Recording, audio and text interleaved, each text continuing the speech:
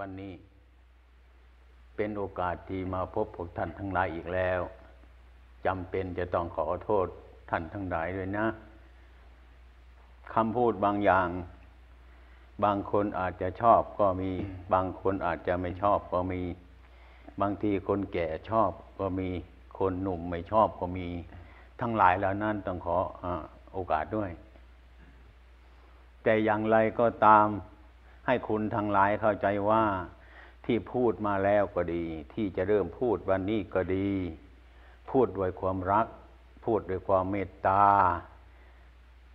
ทุกอย่าง คือหมายความว่าเราทุกคนที่ยังไม่รู้อะไรต่ออะไร ว่าอะไรมันเป็นอะไรตามความจริงนั้น มานั่งรวมกันอยู่นี้ ฉะนั้นจึง ให้นั่งฟังธรรม โดยความสนใจติดตามเอาไปภาวนาพิจารณาให้ถึงความเป็นจริงอย่างนั้น ธรรมะที่จะพูดวันนี้พูดตามคำสอนของพระพุทธเจ้า พระพุทธเจ้าสั่งสอนว่าคำสั่งสอนของท่านนั้น เป็นธรรมะที่ควรรู้ เป็นธรรมะที่ควรเห็น ไอ้ธรรมะที่ไม่ควรรู้ไม่ควรเห็นนั้น ท่านมาให้แสดง คือไม่เกิดประโยชน์ ธรรมะอยู่บนอากาศนั้น เราก็จะไม่ควรจะรู้ ธรรมะอยู่ในป่านั้น ก็เป็นธรรมะที่ควรไม่ไม่ควรจะรู้ตามความจริง ฉะนั้นธรรมะที่จะพูดวันนี้ ธรรมะอยู่กับพวกเรานี่เอง พูดกับสิ่งที่เป็นอยู่ในตัวของเรา เรื่องกายของเรา เรื่องใจของเรา เรื่องความเป็นอยู่ของเราทั้งนั้นแหละไอ้ที่เรายังไม่รู้ แต่เราเห็นอยู่ แต่ยังไม่รู้ หรือรู้อยู่ แต่ก็ยังไม่เห็น หรือเห็นอยู่ แต่ก็ยังไม่รู้มิฉะนั้นพระพุทธเจ้าไอ้ธรรมะ ที่ควรรู้ควรเห็นมันอยู่ตรงนี้ฉะนั้นพูดไปมันถึงไปถูกท่านทั้งหลาย เพราะว่าธรรมก็อยู่กับท่านทั้งหลายนั่นเองมันไปไม่ไปถูกต้นไม้ มันไปไปถูกอากาศ มันถูกพวกเราทั้งหลายนี้เอง เพราะว่าธรรมอยู่ที่ตรงนั้น เป็นอย่างนั้นใช่ไหม มิฉะนั้นธรรมะที่พูดไป แล้วก็ดีจะพูดวันนี้ก็ดี ที่ท่านยังไม่เห็นวันนี้ วันหน้าท่านจะต้องเห็น ถ้าอายุยังรุ่นยังไม่แก่ ยังไม่เห็นอายุแก่ก็จะต้องเห็น เพราะอันนี้มันเป็นความจริงมันติดตามเราอยู่ทุกเวลาดังนั้นที่พวกท่านทั้งหลายทำกรรมาฐานนั่งให้สงบ มันไม่สงบนั่นก็เพราะท่านไม่รู้ว่าอะไรเป็นอะไร มันจึงไม่สงบอย่างนั้น นั่งหาความสงบมันก็ไม่สงบ เพราะอะไร เพราะเราไม่รู้ว่าอะไรมันเป็นอะไร มันถึงเป็นอย่างนั้น ฉะนั้นจึงได้ฟังธรรมพระต่อไปเพื่อกำจัดสิ่งทั้งหลายเหล่านี้นี่นั่นการฟังธรรมจึงเกิดประโยชน์ เมื่อรู้ธรรมะแล้วมาปฏิบัติธรรมะก็รู้จักธรรมะง่าย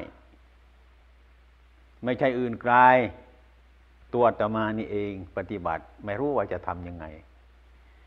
ไม่รู้ว่าใจมันอยู่ที่ไหน อะไรเป็นอะไรในวุ่นไปทั้งหมดนั่นเองเนี่ย เป็นเหตุที่ให้เกิดทุกข์มากเหลือเกินมิฉะนั้นบางคนในกลุ่มนี้อาจจะมีก็ได้ บางคนอาจจะเบื่อก็มีมานั่งกรรมฐานนี่ว่ามันไม่รู้อะไร มันไม่เป็นอะไรนั่งให้สงบ มันก็ไม่สงบ บางทีอาจจะเบื่อก็ได้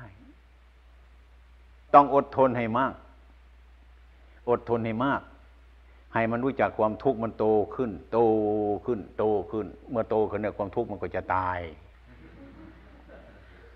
พูดว่าตายอย่างนี้ก็คงยังจะไม่รู้อีกก็มีนะอีกความอยากของเรานั้นซึ่งเป็นเครื่องปรุงแต่ง ปรุงแต่งสิ่งที่มันเล็กให้มันโตก็ได้ ปรุงสิ่งที่ให้มันโตให้มันเล็กก็ได้ ปรุงสิ่งที่เรา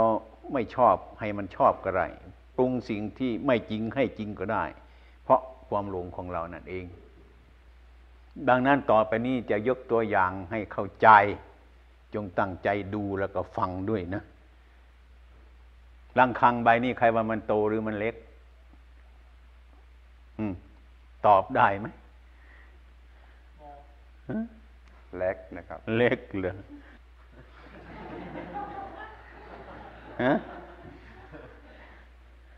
ไม่ใช่มันโตแล้วเนี่ย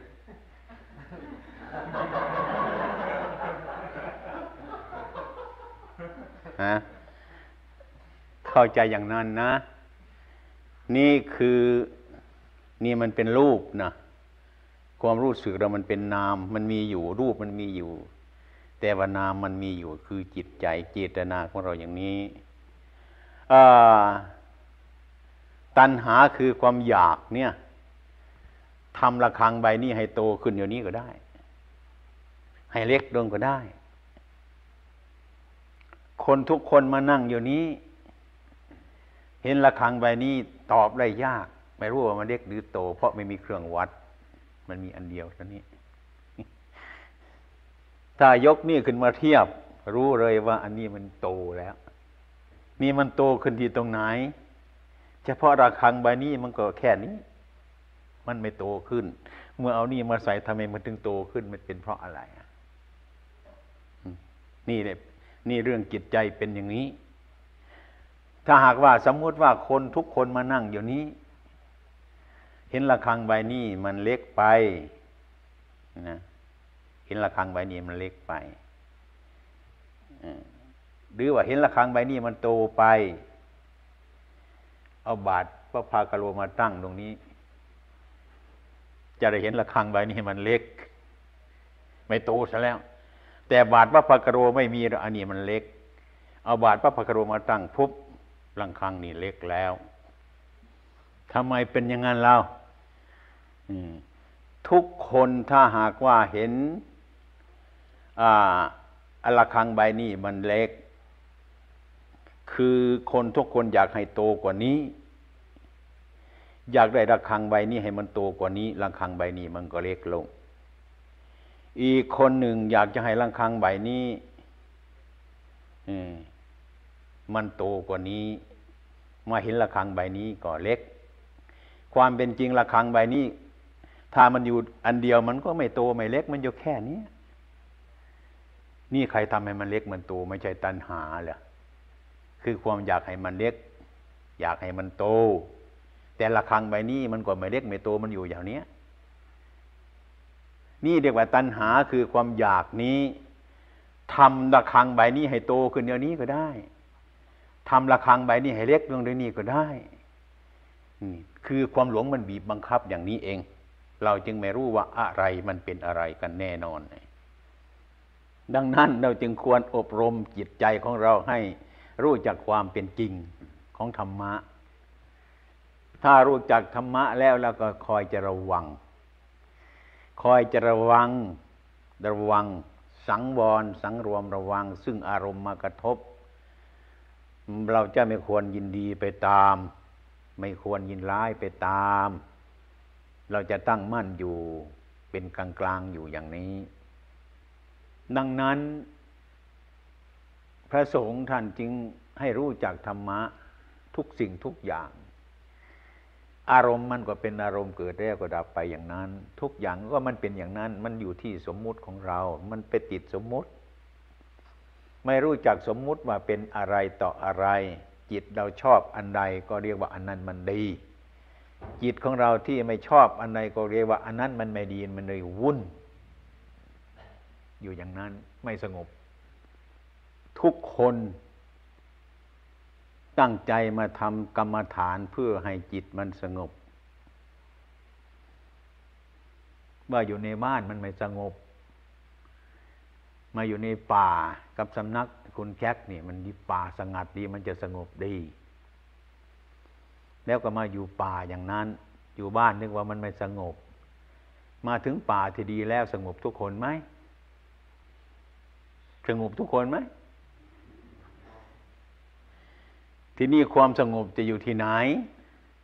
ที่นี่ก็ไม่สงบแล้วที่ป่าก็ไม่สงบที่บ้านก็ไม่สงบไอ้ความสงบมันจะอยู่ถึงตรงไหนล่ะ อืม เพราะคุณทั้งหลายไม่รู้จักความสงบ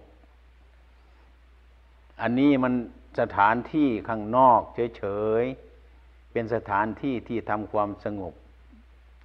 แต่ที่นี่มันไม่สงบก็หาความสงบไม่พบ อันนั้นมันเป็นสถานที่สงบภายนอกเท่านั้นเนี่ยนำมาอาศัยตัวนี้ก็ช่วยกันขึ้นอีกสามสิบเปอร์เซ็นต์แต่ก็มานั่งบางคนก็ยิ่งคิดมากเหลือเกินก็ยิ่งไปกันใหญ่เลย นี่เพราะอะไรนี่ก็ควรพิจารณาดูสิ นี่คือคือเรานี่ไม่รู้อะไรว่ามันเป็นอะไรนั่นเอง มันถึงเป็นอย่างนั้นอัตมานั่งกรรมาฐานใหม่ ๆ ไม่อยากจะอะไรยินอะไรมันกวนเรา เอากี่พึ่งมาอุดหูไว้ อุด นึกไปอยากให้ตาบอดถึงจะดีเห็นเงียบอย่างนั้นเอาขี้พึ่งมาอุดเดี๋ยวก็นั่งอยู่ในป่าเงียบเงียบแต่มันเงียบแต่ป่าตรงนี้มันไม่เงียบ มันวุ่น ก็เลยคิดไปเออไอ้คนหูหนวกคนตาบอดนั้นมันเป็นพระอรหันต์ได้ อย่างเนี้ยก็คิดไปอย่างนี้ นี่ทำมารู้ เรียกว่ามันไม่รู้อะไรว่ามันเป็นอะไรถึงทำหาอย่างนั้นอาตมาโง่มาแล้วเดี๋ยวนี้มันก็ยังโง่ก็ยังไม่หมดเหมือนกันแต่ยังมีโง่ติดมาอยู่มันมากนะดังนี้จึงมาพูดให้โยมฟังให้เข้าใจ เช่นเรามานั่งตรงนี้ เราตั้งใจว่าจะมาสงบนะมาสอนแก๊กทำความสงบนะแล้วก็ตั้งใจให้มันสงบไปนั่งให้มันสงบนะ บางทีพอนั่งไปคลิปหนึ่งก็เสียงเครื่องบินมันฮืด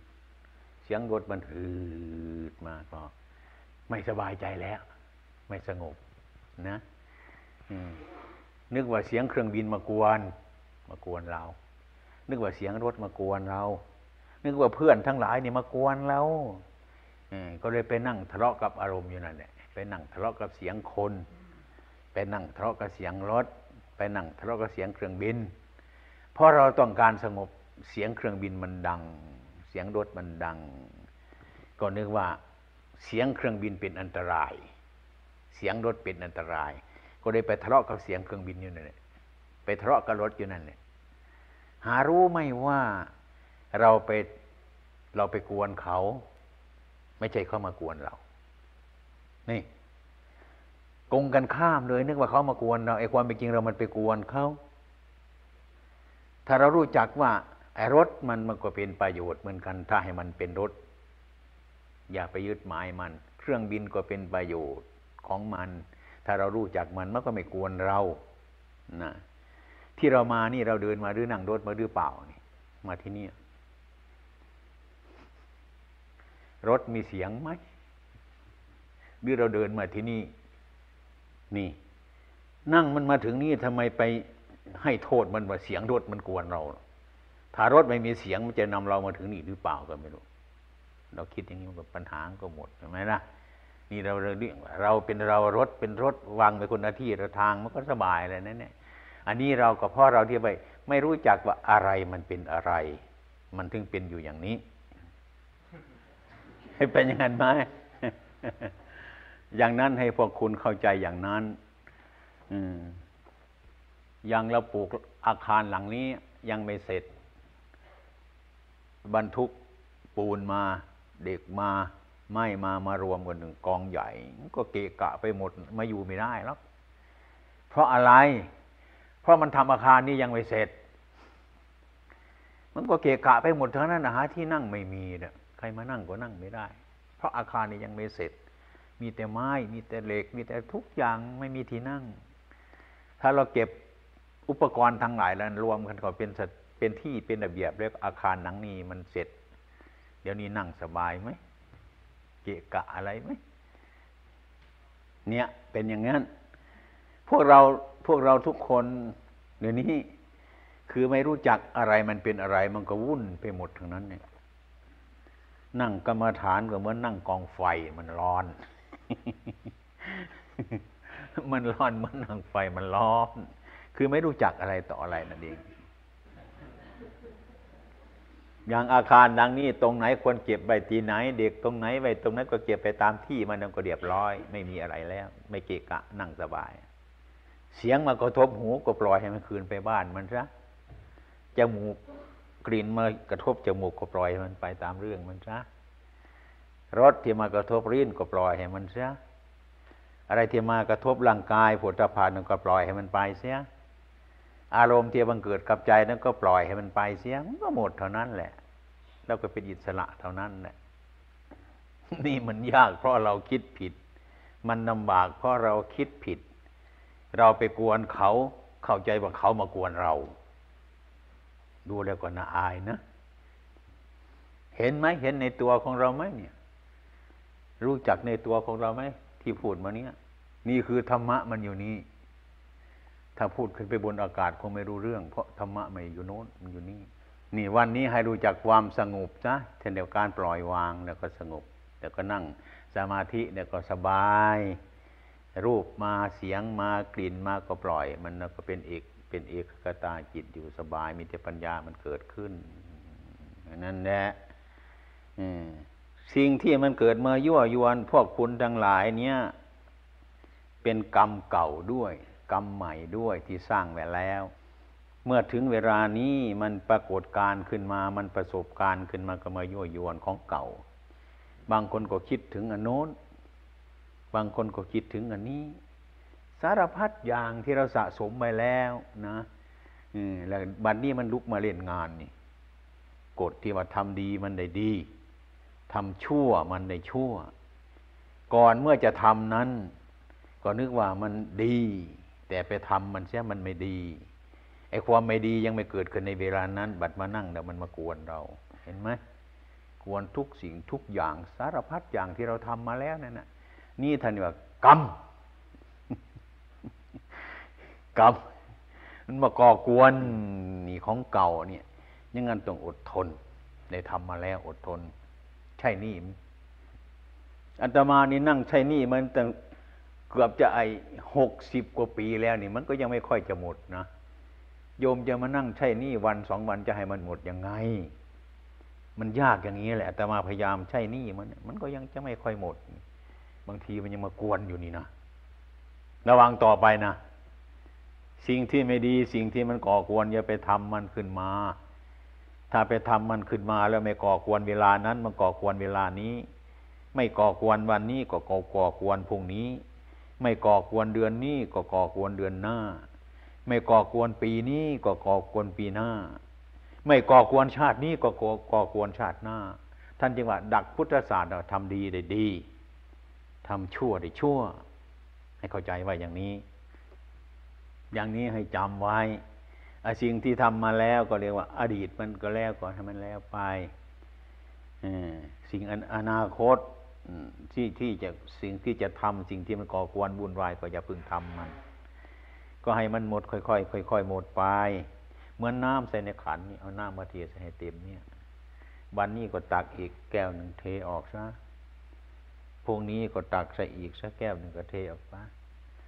นานๆวันเดียวน้ำนี่ก็หมด ถ้าจะไปเอาออกอีกแก้วหนึ่งวันนี้พรุ่งนี้เอามาเติมอีกแก้วหนึ่งนะอย่างนี้ไอ้ปรืนนี่ก็เอาอีกแก้วหนึ่งนะต่อเอามาอีกแก้วหมดไม่ได้พอแล้วมั้งเอามากมันจะหนักไปนะมั้งเอาพอดีพอดีนะ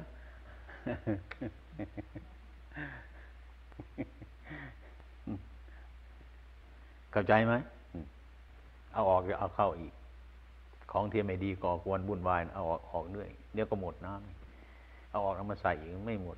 บุ่นวาย เต็มทีเนาะยากนะ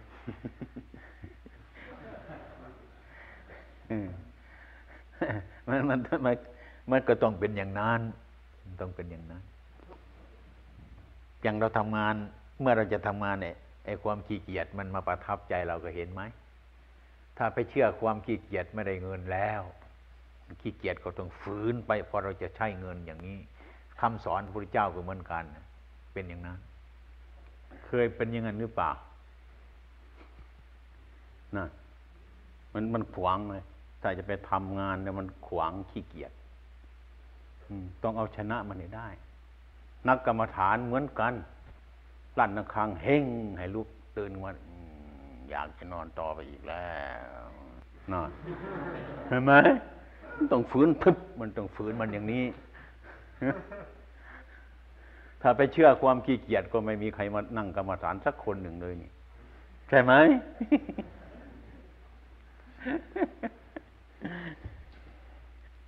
วันนี้รับพรนะรับพรซะว่าให้เจ็บแสบหลายอย่างแล้วกลัวจะเป็นกรรมรับพรซะ อิยทาวาริวหาปูราปริปุเรนติสาคารังเอวเมวะอิโตทินังเปตานังอุปกปปติ อิจิตังปฏิตังตุมหังกิปเมวะสมิจเจตุสัพเพปุเรนตุสังกปาย จันโทปนรโสยะธามณิโชติระโสยะธาสัพพิติโยวิวัจันตุสั พพะโรโควินาศตุมาเตปวัตวันตรายโยสุขีติกายุโกภวะอาภิวาทนาสิลิสนิจังวุตาปจายโนจัตตารโอธรรมวัฏันติอายุวันโนสุขังบาลัง สัพพมังคารังรักขันตุสัพพเทวตาสัพพพุทธานุภาเวนัสดาโสติภวันตุเตหาวะตุสัพพมังคารังรักขันตุสัพพเทวตาสัพพธรรมานุภาเวนัสดาโสติภวันตุเต ภาวะตุสัพมังคารังราคันตุสัพเทวตาสัพสังฆานุภาเวนัสตาโสติภาวันตุเต หน้าที่ของพระสงฆ์ส่งมาถึงนี่นะ ต่อไปจะเดินไปก็นั่งรถไปก็ได้ อันนี้เป็นเรื่องของโยมจะไปเอง ใครรีบก็นั่งรถไป ใครไปจะช้าก็เดินอัด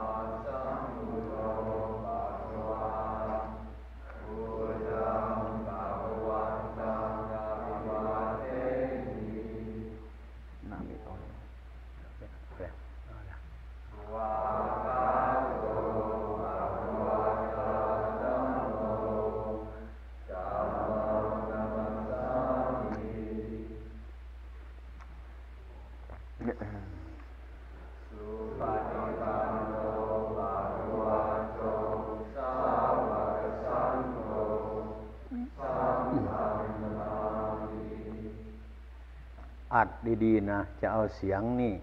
เอาเสียงไอ้ไอ้ไอ้ไอ้ชาวตะวันตกไหว้พระเนี่ยไปให้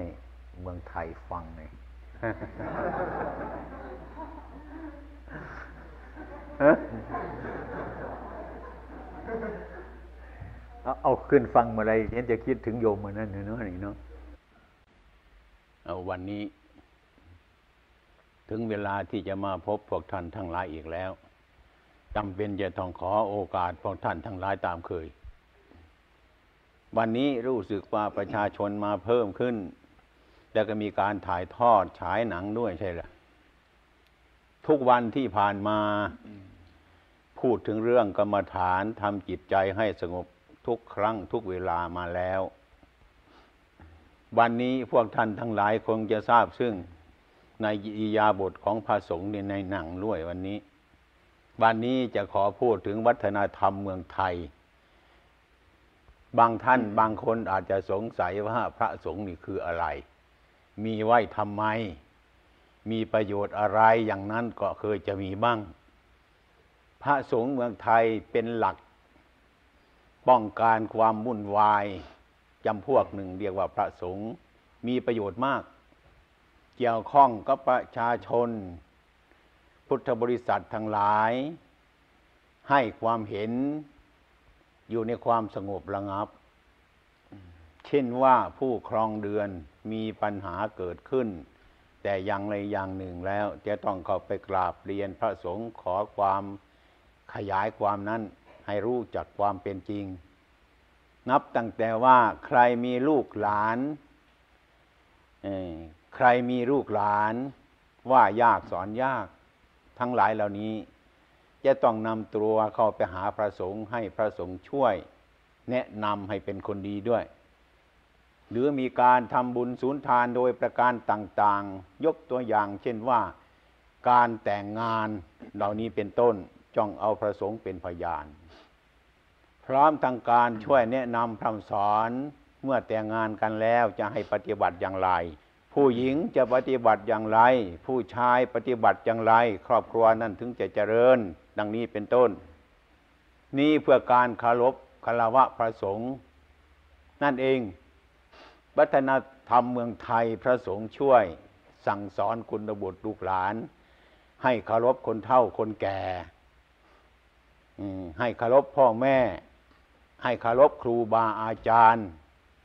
ตลอดมาเรื่อยๆมา อันนี้เป็นวัฒนธรรมของคนไทย แต่ในเวลานี้ก็เสื่อมไปบ้างนั่นแหละมันเสื่อมไปบ้างอะ เพราะว่าอ่าไฟน้ำมันสบาย ไฟมันสว่าง ใจคนก็ยิ่งมืด ไฟฟ้ายิ่งสว่าง ใจคนก็ยิ่งมืดไปเท่านั้นพูดถึงประชาชนเมืองไทยนะเมืองนี้อาตมาเพิ่งเข้ามาอยู่ไม่กี่เรือนยังไม่ทราบนะไม่รู้ว่าจะเป็นยังไงก็ไม่รู้ คงจะคงจะเรียบร้อยดีกว่าเมืองไทยมั้งเนะอันนี้พูดถึงวัฒนธรรมของเก่าแก่เมืองไทย ให้ฟัง เช่นว่าการแต่งงาน ผู้หญิงอย่างน้อยต้องอายุยี่สิบปี ผู้ชายอายุยี่สิบห้าปีเป็นปกติจึงแต่งงานกันได้ เดี๋ยวนี้คงจะข้ามเขตแล้วมั้งเดี๋ยวนี้ ทุกวันนี้เจ้าหน้าที่น้อย โจรมาก คุ้มไม่ไหว เนี่ย มันเป็นเช่นนี้ฉะนั้นไอ้พวกเราทั้งหลายจึงมาอบรม อบรม อบรมพระธรรมคำสอนของพระพุทธเจ้า ธรรมะที่อบรมน่ะ มาตั้งหลายวันแล้วนี่ เป็นธรรมะที่ไม่พ้นสมัย ทุกวันนี้ก็ยังทันสมัยอยู่ เมื่อไรก็ทันสมัยคือไม่มีของเก่ามันใหม่อยู่เรื่อย เช่นว่า คนทำดีก็ยังได้ดีอยู่ คนทำชั่วมันก็ยังได้ชั่วอยู่ตลอดเวลา เมื่อไรก็ต้องเป็นอยู่อย่างนี้มิฉะนั้นธรรมะของพระเจ้าจึงเป็นของใหม่อยู่เสมอ ไม่เหมือนจิตใจของบุคคลเรา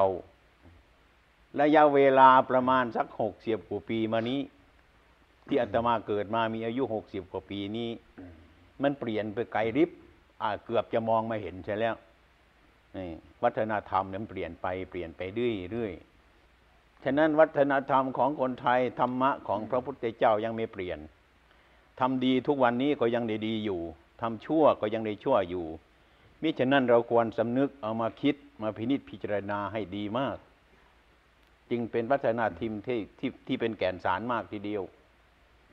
เห็นจะดีกว่าวัฒนธรรมที่เราตั้งเอาเองทุกวันนี้ วัฒนธรรมที่เราตั้งเอาเองทุกวันนี้ เห็นจะไม่ค่อยจะได้เรื่อง แต่มันได้เรื่องมากเกินไป แต่มันไม่หมดเรื่อง มันไม่ใช่ว่าไม่ได้เรื่องหรอกมันเรื่องมันมาก So เราจะ he, ทำยังไงการมันเรื่องมากเหลือเกินจะทำไง เรื่องมากปัญหามันก็มาก ปัญหามากก็แก้ปัญหาไม่ไหวแล้วนี่อาตมาแก้ปัญหาทุกวันนี่ได้ไหมหรือยังไง อันนี้พูดให้คิดนะ พูดให้คิดนะ ไม่ใช่สอนให้เชื่อ ไม่ใช่สอนให้เชื่อ สอนให้ไปพิจารณาดีดีเอา ไม่ดีมันก็ทิ้งไป วัฒนธรรมของเมืองไทยพูดถึงลูกหลานกับพ่อแม่คนแก่ พ่อแม่มีลูกหลายคน แก่มาแล้วลูกแย่งกันเอาไปปฏิบัติ แล้วคนนั้นเอาไปปฏิบัติเจ็ดวันสิบห้าวัน แล้วคนนั้นไม่สบายใจเอาไปปฏิบัติให้อยู่สบายกัน อาตมามาเมืองนี้เห็นเอาคนแก่ไปทิ้งไว้ อย่างมากก็มีสุนัขตัวหนึ่งอยู่นั้นน่ะวิ่งไปวิ่งมาตอนเช้านั่นเดินตื่ตะตื่ตะตอนเช้า หิ้วของหนักๆก็ไม่มีใครจะช่วย ไม่รู้ว่าเป็นไงอาตมายังไม่รู้นะอบรมกรรมฐานจิตใจเราก็ไม่ได้ ไม่รู้ว่าจะไปพึ่งอะไรที่ไหนแล้ว ลูกหลานก็ไม่ค่อยไปเยี่ยมมัวสนุกกันอยู่โน่นอะไรก็ไม่รู้เรื่องอย่างนี้ ถ้าหากว่าเราแก่มาเป็นอย่างนั้นจะเป็นไงจะสบายไหมอันนี้ประการหนึ่งอาตมาซึ่งเห็นแต่ยังไม่รู้นะแต่ไม่รู้ว่าจะเป็นยังไงไม่รู้ มันแปลกมีความรู้สึกอย่างนั้น มีความรู้สึกในใจว่าเลี้ยงลูกขึ้นมาไม่มีความหมายอะไรมากลูกไม่ช่วยแม่ ช่วยพ่อแล้วก็ปล่อยไปอย่างนั้นเนี่ยวัฒนธรรมนี่น่าพิจารณาอยู่เหมือนกันนะ ถ้าเราไปถูกยังให้เป็นคนแก่จะเป็นไงไหมใจระทมโดยทุกข์อยู่เสมอเวลาทุกเวลาอือันนี้ให้เอาไปพิจารณาแล้วมนี่วัฒนธรรมของคนไทยเป็นอย่างนั้น แต่ในแต่ในจุดนั้น ในระยะนั้นตามที่อาตมาพิจารณาแล้วอาคารบ้านช่องก็ไม่สวยงาม ไฟก็ไม่สว่าง เรือนที่อยู่นั่นก็ไม่สวยงาม แต่ว่าใจงาม ไม่ร้อนสบาย สว่างอยู่ในใจเย็นด้วยความเห็นอย่างนั้น สมัยนั้น เคหสถานบ้านช่องไม่เจริญ ทุกวันนี้มันเจริญขึ้นทุกอย่างแต่ว่าไฟข้างนอกมันสว่าง ไฟข้างในมันจะดับแล้วเดี๋ยวนี้มืดมืด ผู้หญิงผู้ชายโตขึ้นมาแล้ว อยากจะแต่งงานจะต้องไปขออนุญาตกับพ่อแม่ ปรึกษาพ่อแม่ พ่อแม่ให้แต่งงานกับคนนี้ก็แต่งงานกับคนนี้ไม่ให้แต่งงานกับคนนี้ก็ไม่ต้องแต่ง สมัยนี้ไม่ต้องปรึกษาใครแล้วมั้งมันช้า มันไม่ทันเวลา คลุมไม่ไหวแล้วเดี๋ยวนี้ก็เลยไปกันใหญ่อาตมาก็ไม่รู้จักว่าจะพูดยังไงนะออ อันนี้พูดให้ฟังนะไม่ใช่นินทานะ ขอโทษเลยนะ มันเป็นอย่างนั้นอะเราจะอุปมาให้ฟังอย่างหนึ่งนะ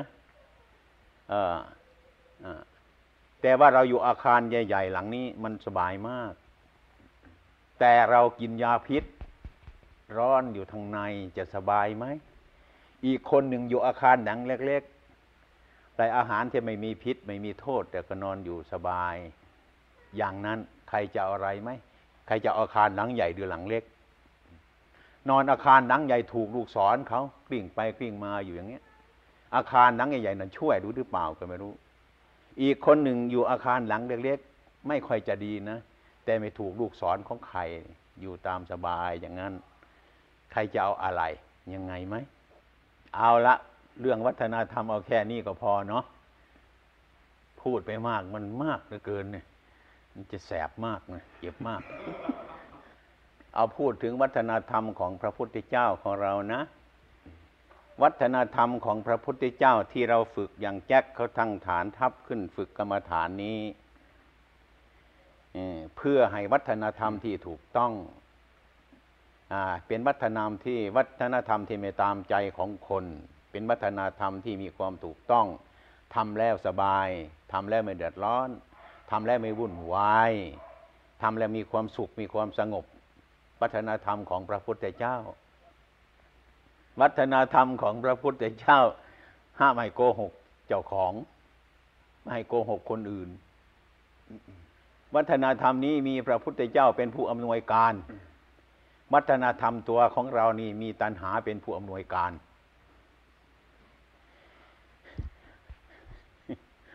ตัณหาของพวกเรานี่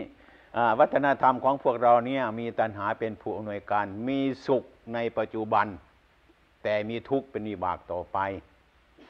วัฒนธรรมของพระพุทธเจ้ามีทุกข์ในปัจจุบัน แต่มีสุขเป็นวิบากต่อไป หรือมีสุขในปัจจุบัน แต่มีสุขเป็นวิบากต่อไป วัฒนธรรมของตัณหานั้นมันมีทุกข์ในปัจจุบันด้วย เดี๋ยวก็มีทุกข์เป็นวิบากต่อไปด้วยอย่างนี้ญาติโยมจะเลือกเอาอันใดก็เอา เป็นอย่างนี้ แต่ที่พวกเราทั้งหลายนั่งสมาธิกันนี้มันดีแล้ว มันสงบแล้ว แต่ว่าเราไปทำข้างในมันก่อนอย่างอาตมามาจากเมืองไทยนะ เข้าไปท่าอากาศสยานนะเขาต้องตรวจนะเรียบร้อยจึงได้เข้าไปนะไม่ได้เข้าไปเลยหรอกเรียบร้อยพาสปอร์ตมีไหมใบเดินทางมีไหมอะไรอะไรมีไหมเขาจึงปล่อยให้ไปเนี่ยอันนี้เราต้องตรวจซะก่อน จะเข้าไปนั่งสมาธิมันถึงสงบง่าย อันนี้ไม่เรียบร้อยไปนั่งไม่ค่อยสงบหรอกไม่ค่อยสงบดีฉะนั้นศีลธรรมนี่จึงเป็นเรื่องที่สำคัญอย่างหนึ่ง ใครมีความเดือดร้อนหรือเปล่านั่งสมาธิไม่สงบมีหรือเปล่าตรงนี้ ตรวจดูใหม่นะอาจจะมีเป็นของซ่อนภาษีเขาก็ได้นะยังไม่สบายนี่ฮะเนี่ยเป็นอย่างนั้นแล้วพยายามกระจายอันนี้ให้หมดไปหมดไปเรียบร้อย เดี๋ยวก็เข้าไปแล้วก็ เขาตรวจแล้วก็อยู่ไปได้ ขึ้นเครื่องบินไปได้สบายไม่มีอะไร ถ้ามีอะไรเป็นของต้องห้ามอยู่แล้วไม่ค่อยสบายอยู่นั่นเนี่ยนั่งไม่ค่อยสงบเลยเนี่ย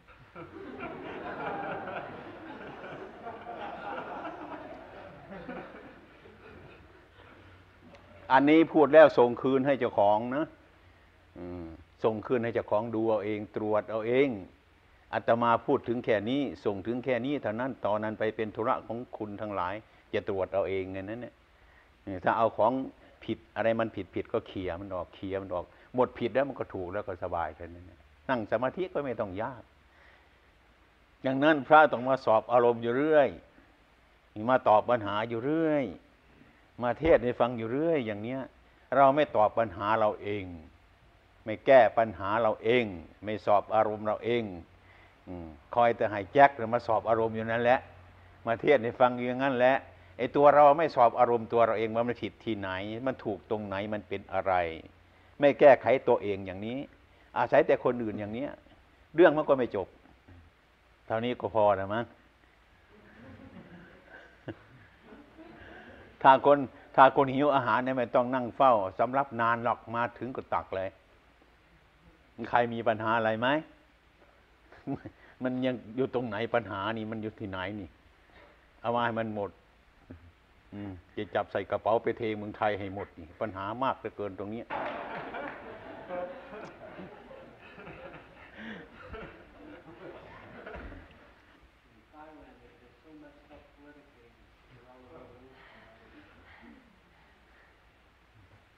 เขาถามว่านะครับเรื่องเมืองไทยมีวัฒนธรรมของพุทธพุทธเจ้านั้น แต่ว่าทำไมเรื่องการบานการเมืองก็ยุ่งยากแท้นะครับ อ้าวอันนั้นไม่ใช่เรื่องพระพุทธเจ้า มันเป็นเรื่องการบ้านการเมืองต่างหากนั่นน่ะอย่างอย่างเมืองนี่กกฎหมายมีอยู่ดีอยู่ทำไมมันถึงมีโจรมีขโมยวะที่จะไปขโมยคนไม่ใช่กฎหมายไปขโมยเนี่ยคนไปขโมยนี่วะมันคนละเรื่องกัน อืม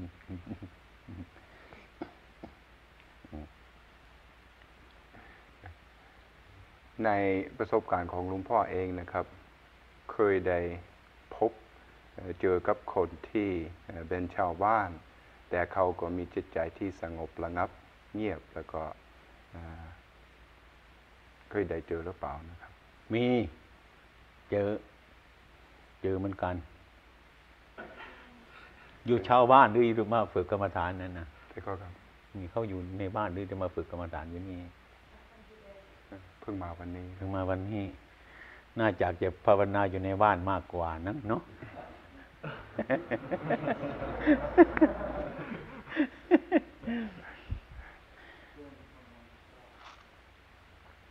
หลุงพ่อเมื่อได้อธิบายเรื่องเอ่อโกหกเจ้าของขโมยจากเจ้าของกันนั่นก็ไม่ถึง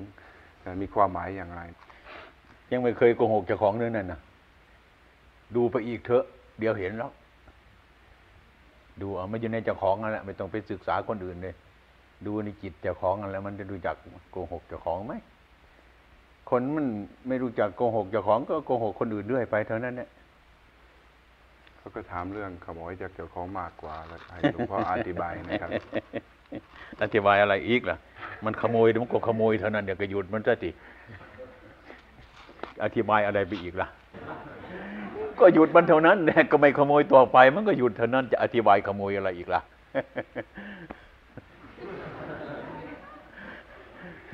ปัญหานี่ไม่น่าจะให้มันเกิดขึ้นนะเข้ามาเดี๋ยวดูมันนี่เข้ามาเดี๋ยวเดี๋ยวกี่คนมาอยู่เดี๋ยวยี่สิบคน จะไปเมื่อไหรจะไปเมื่อไหรแล้วพวกนี้ทำงานอะไร อ๋อนี่เมืองไทยมันโง่เหลือเกินเนาะปลูกผักก็ยังให้เมืองนอกไปให้ ไปสอนให้ปลูกนี่ไว้อย่าให้มันกินซะดีกว่าเด้อถ้ามันแน่กินถ้ามันกินผักเป็นเนี่ยมันปลูกผักให้มันเป็นนี่ปลูกผักไม่เป็นอย่าให้มันกิน เมืองไทยนี่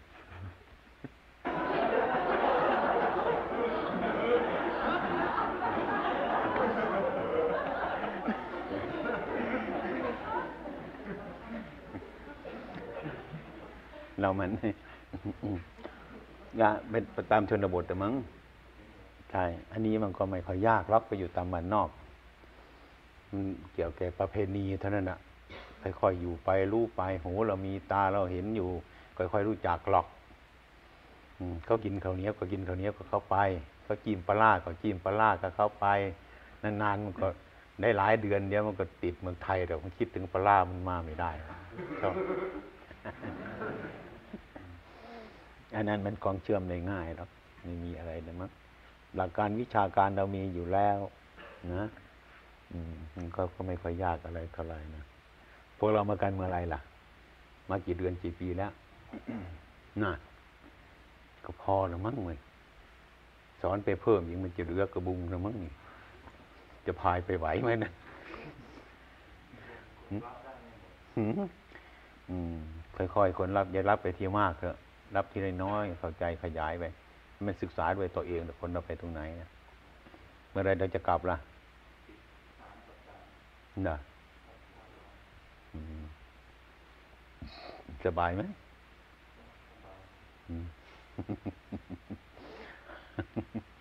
ให้มันสบายเถอะ อย่าให้มันไม่สบายเถอะสบายไอ้ความสบายนี่ก็สำคัญนะ เป็นฝีเก่าอยู่นี่มันปวด ยังไงอยู่สบายไหมสบาย ทั้งปวดฝีอยู่นี่ก็ มีเพื่อนมาเห็นกันนั่นเออมีอยู่สบายไหมสบาย ไม่รู้ว่ามันดูดไปเมื่อไหร่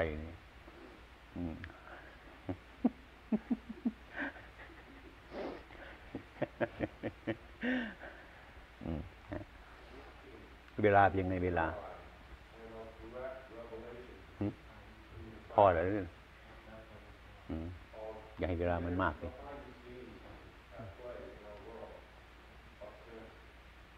นั่น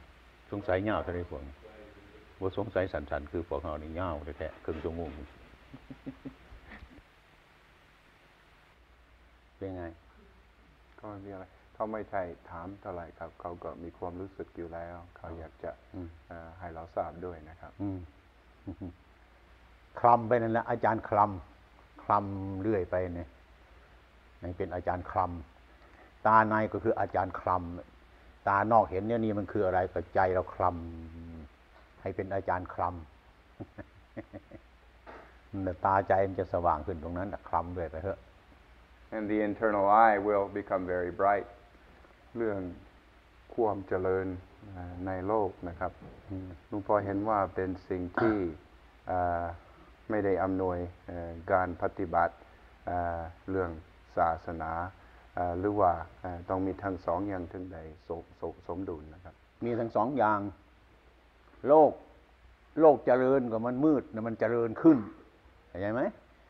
โลโกท่านแปลว่าความมืด โลกเจริญก็คือความมืดมันเจริญ ไฟฟ้ามันเจริญขึ้นสะดวกมาก ตาคนก็ยิ่งบอดเข้าไปทุกวันทุกวัน น้ำสะดวกเท่าไร ก็คนก็ยิ่งไม่อาบน้ำ มันเป็นอย่างนั้น ถ้าคนมีปัญญามันก็สะดวกนี่มันสะดวกได้ แต่คนมาหลงสุขซะหลงความสว่างซะหลงน้ำซะหลงความสุขซะอย่างนั้นมันก็เป็นไปได้ยาก โลกเขาก็เป็นของเขาอยู่อย่างนั้น เราตัวเราเองมันหลงตัวเราเองเท่านั้น ไม่มีอะไรแล้วไม่ให้โทษโลกอะทุกอย่างในโลกมันถูกต้องอยู่ทุกอย่างแล้ว จิตเรายังไม่ถูกต้อง จึงไปเสนอเสริญเขาจึงไปให้โทษเขา ดีใจกับเขาเสียใจกับเขา เพราะเราคิดไม่ถูก เพราะเราไม่มีปัญญา ธรรมดาโลกเป็นปกติไม่ให้โทษใครทั้งนั้น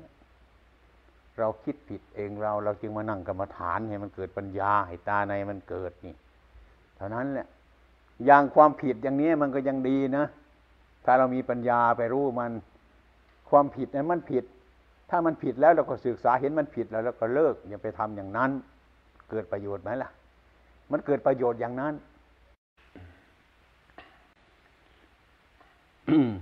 เอาวันนี้ เป็นวันหนึ่ง ซึ่งมีโอกาส ที่จะได้มาพูดครับญาติโยมทั้งหลาย เพื่อเพิ่มความเข้าใจอีกต่อไป ซึ่งอาตมาได้มีโอกาส ที่ได้มาเยี่ยม บริษัทบริวารทั้งหลาย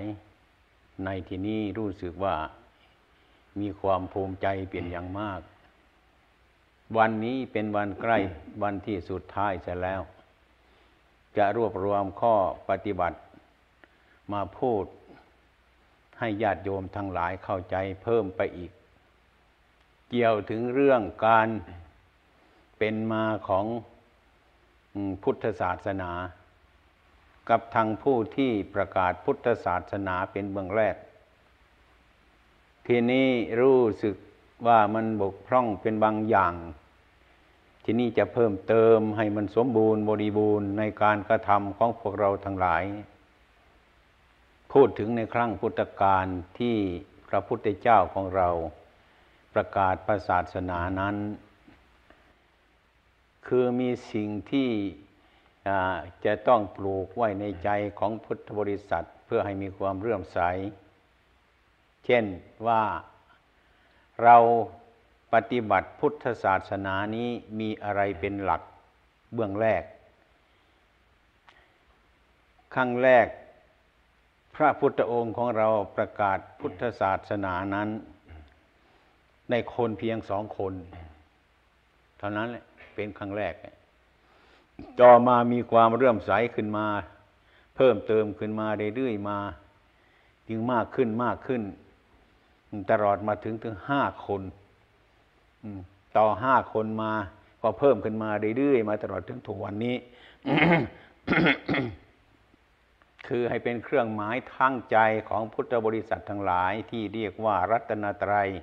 คือพระพุทธหนึ่งพระธรรมหนึ่งพระสงฆ์หนึ่ง เพื่อให้พุทธบริษัทมีความเรื่อมใสมากขึ้น เช่นว่ารัตนะท่านแปลว่าแก้ว ประเภทหนึ่ง แก้ว คือพระพุทธ แก้วคือพระธรรม แก้วคือพระสงฆ์ทั้งสามประการนี้เป็นรัตนะ เป็นรัตนตรัยด้วย พระศาสนาที่เจริญมาทุกวันนี้ก็เพราะอาศัยสิ่งทั้งสามประการนี้เป็นหลักของพุทธบริษัทเบื้องแรก คือให้พวกเราทั้งหลายถึงพระพุทธ ให้พวกเราทั้งหลายถึงพระธรรม ให้พวกเราทั้งหลายถึงพระสงฆ์ว่าเป็นสารณะ เป็นที่พึ่งของพวกเราทั้งหลายทางใจ ผู้นับถือพระพุทธศาสนานี้ ท่านให้เข้าถึงพระพุทธพระธรรมพระสงฆ์อย่างแท้จริง พระพุทธ พระธรรมพระสงฆ์ทั้งสามประการนี้ ให้นับถือเป็นอย่างยิ่ง ไม่ให้นับถืออย่างอื่นยิ่งกว่าทั้งสามประการนี้ เพราะหลักสามประการนี้ธรรมะคำสั่งสอน เคลื่อนมาจากรัตนะทั้งสามประการนี้ ตลอดถึงทุกวันนี้ พระพุทธเจ้า ถ้าพูดตามส่วนบุคคลไอ้ความเป็นจริงนั้น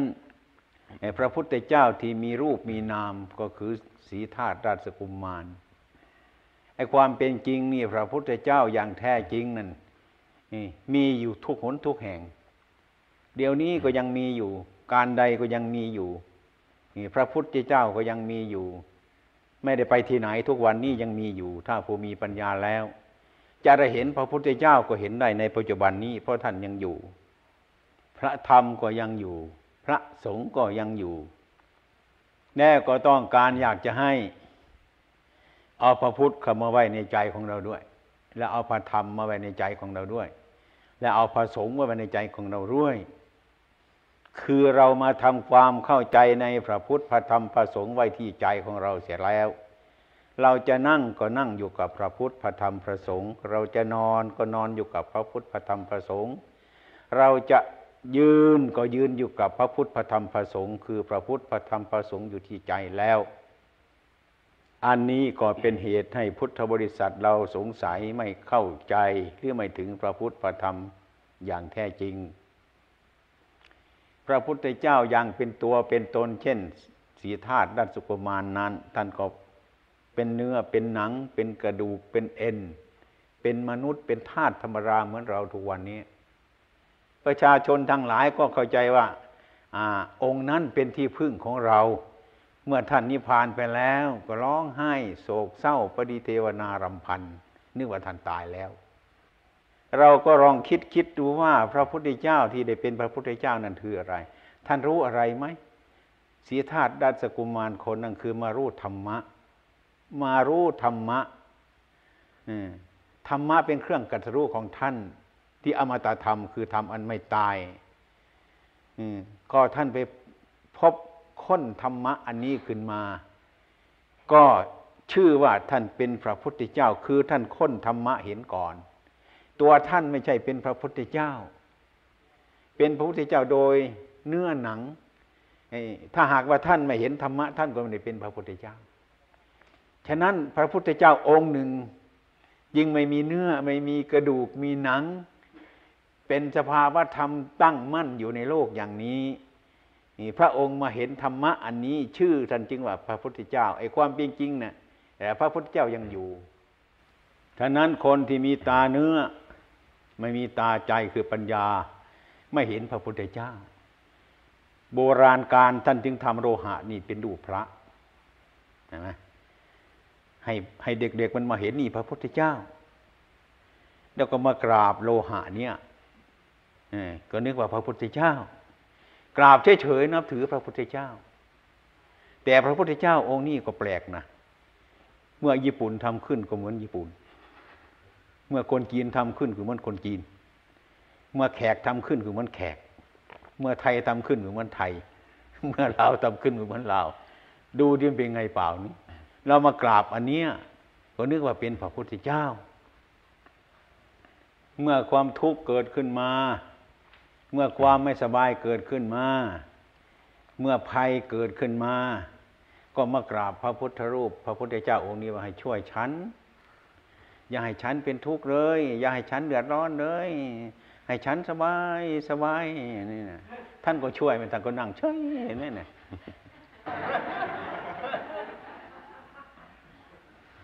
นั้นท่านเรียกว่ากราบพระพุทธเจ้าไม่ถูก นับถือพระพุทธเจ้าไม่ถูก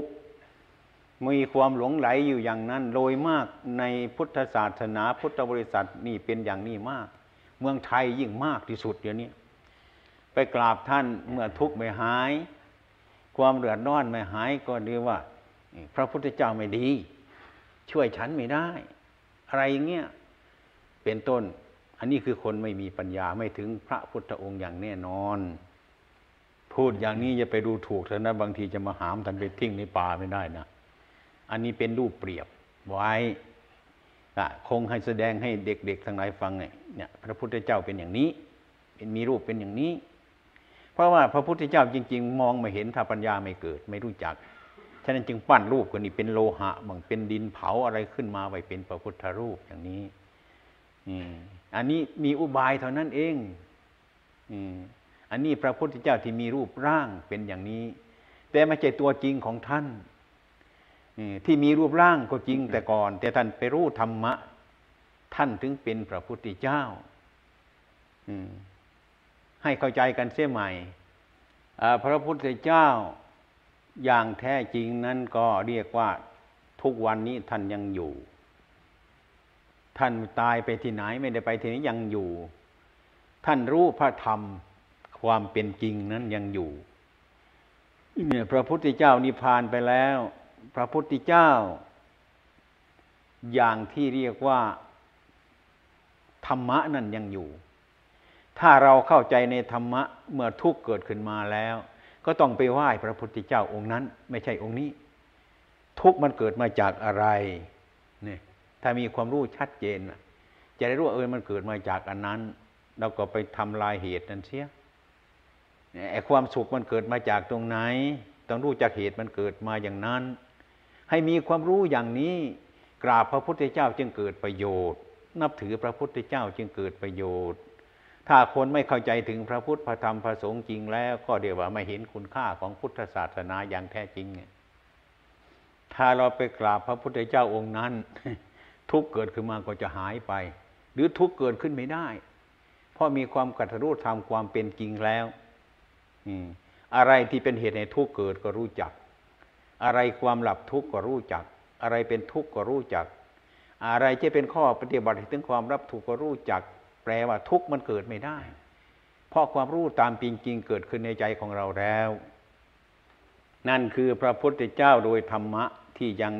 ไม่ตายเดี๋ยวนี้ยังเหลืออยู่คือความจริงยังมีอยู่ พระสงฆ์เล่าที่มีจิตใจกัดรู้อย่างนั้นรู้ขึ้นมาแล้วพอพระสงฆ์นี่เขาปฏิบัติตามธรรมะนั้น เช่นว่าเราเนี่ยมีกายมีวาจา มีจิตใจรวมปฏิบัติตามธรรมะคำสอน ที่พระพุทธเจ้าท่านตรัสไว้นั้นก็เรียกว่าพระสงฆ์ทั้งนั้น ฉะนั้นลักษณะทั้งสามประการนี้คือพระพุทธหนึ่งพระธรรมหนึ่งพระสงฆ์หนึ่งแยกจากกันไม่ได้ รวมกันอยู่เป็นพุทธเป็นธรรมเป็นสงฆ์เรามาทำใจของเราให้เป็นพระพุทธพระธรรมพระสงฆ์แล้ว เราจะเห็นพระพุทธพระธรรมพระสงฆ์ตั้งอยู่ที่ใจเรานี้ บางคนก็ไม่สบายใจแม่อยากจะไปโน่นไปอินเดียนี่ที่พระพุทธเจ้าเกิดนะเนี่ย จะไปทำกรรมฐานตรงนั้นขันกัตรู้ตรงนั้นสันนิพานตรงนั้น อยากจะไปเมืองไทยไปเยอะอาตมาได้บอกว่าพระพุทธเจ้าไม่กัตรู้ตรงนั้นหรอกไม่นิพานตรงนั้น ไม่กัตรู้ตรงนั้นนะพระพุทธเจ้าที่กัตรู้โดยธรรมะอริยสัจไม่ได้กัตรู้ตรงนั้น แล้วคนก็เข้าไปตรงนั้น ก็ไปกราบต้นโพนั่นที่ท่านกัตรู้ที่ท่านนิพพานก็ดีใจแล้วโอ้ย ได้ไปกราบพระพุทธเจ้าแล้วดีใจแล้วมาบ้านกลับ มากินเหล้าเรียนสบายอย่างนั้นเนี่ย คนไม่รู้จักพระพุทธเจ้า อันนี้พูดในคนไทยนะพูดให้คนเมืองไทยเห็นมาเป็นอย่างนั้นนี่ เนี่ยเป็นอย่างนี้เองคือเราไม่เห็นพระพุทธพระธรรมพระสงฆ์ตามความจริง ถ้าเราเห็นพระพุทธตามเป็นจริง ก็คือเห็นธรรมอันแท้จริง เห็นธรรมอันแท้จริง ก็คือเห็นพระพุทธตัวจริง ไม่ใช่ไม่เห็นพระพุทธปลอม ถ้าเห็นพระพุทธพระธรรมพระสงฆ์เห็นพระพุทธพระธรรมพระสงฆ์จริงพระพุทธพระธรรมจริงแล้วก็เห็นพระสงฆ์จริงขึ้นมา ความสงสัยนี่ยไม่มีอะไร มีประโยชน์ทั้งนั้นถ้าเราเข้าถึงแล้ว อันนี้อยากจะให้ญาติโยมอยู่ทางใดให้เข้าถึงพระพุทธเจ้าองค์นั้น เคลื่อนจากองค์นี้ไป องค์นี้เอาเป็นเอาเป็นดูทางตาของเรา เอาเป็นรูปเปรียบของเรา เท่านั้น ที่นี่ถ้ากราบ พระพุทธรูปองค์นี้ก็กราบไปนู่นกายไปนู่นจะกราบถึงแค่นี้กราบถึงแค่นี้มันก็ถึงโลหะเท่านั้นเนี่ยกลับไปบ้านก็เป็นโลหะอย่างเก่ามันแล้วเนี่ยนี่ถ้ากราบถึงพระแล้วมันต้องอะไรที่เราทำไม่ดีมันก็ต้องพยายามเอาออก อะไรความชั่วพยายามออก พระพุทธเจ้าจะช่วยคือธรรมะนั่นเองนะองค์นี้ท่านไม่ช่วยเราท่านเฉยอย่างเงี้ยเราเข้าใจธรรมะเราจะช่วยตัวเราเอง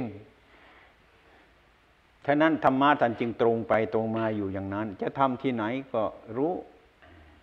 แต่ว่าคนเราเข้าใจอย่างนี้ เมื่อจะทำความชั่ว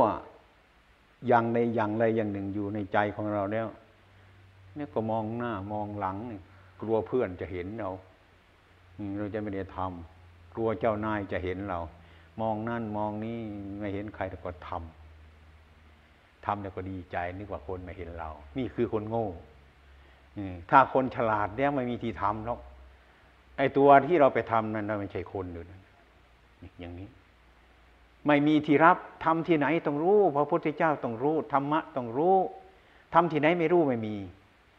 แน่แต่ว่าปัญญาคนไม่ถึงใช่แล้วมันจะทำความชั่วอะไรต่าง ๆ อย่างเนี้ยกลัวคนจะเห็นใช่แล้ว